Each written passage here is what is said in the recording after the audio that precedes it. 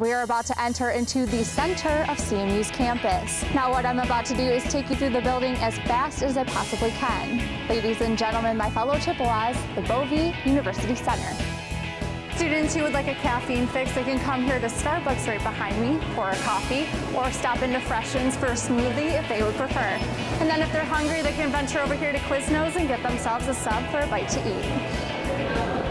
As you look behind me, this is a Starbucks lounge. It's a great place to take a study break or for group members to meet for group work in class.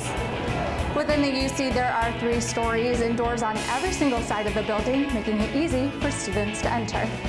On the lower level, there are some offices you should probably check out. Student Employment Services, Student Account Services and University Billing, and the Student Service Court.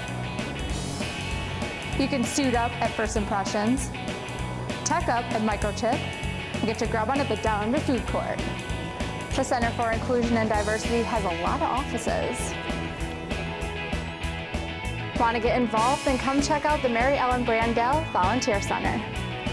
Hi ladies, how's it going? A Student Involvement Center, a place where organizations can come and meet. Student activities and involvement. The CMU bookstore is two floors.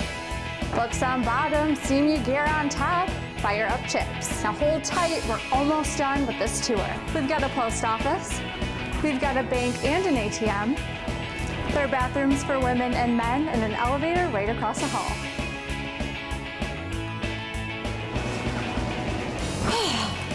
There's so much to see at the Bovee University Center, you have to check it out for yourself.